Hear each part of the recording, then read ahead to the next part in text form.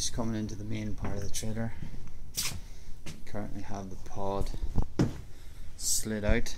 You can see the disability and step fittings, downlight spots.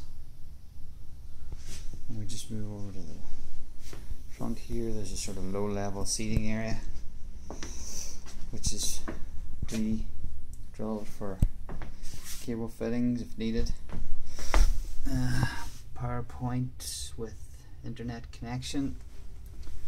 Um, as you can see, the carpet tiles are removed for pod slide out.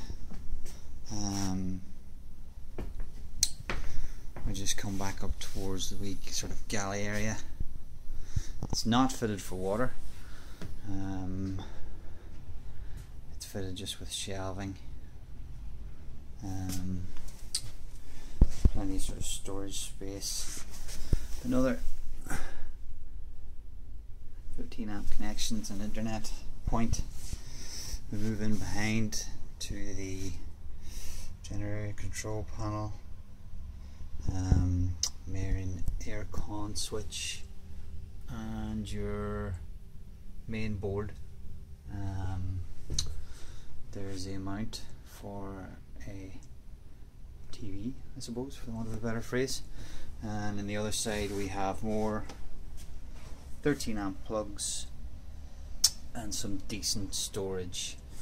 Um, just finally, there we have main light switches and your heating thermostat.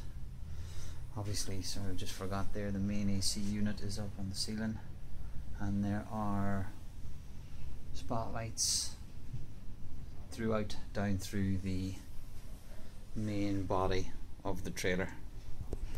And as I say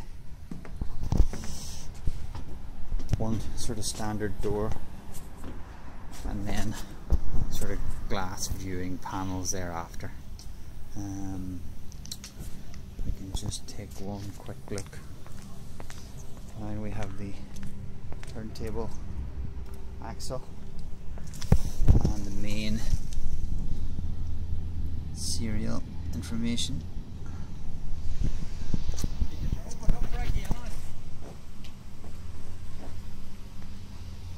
That should our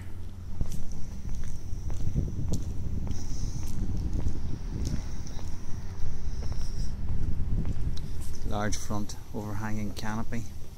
You can see the AC unit from the top there. Hopefully that's enough info.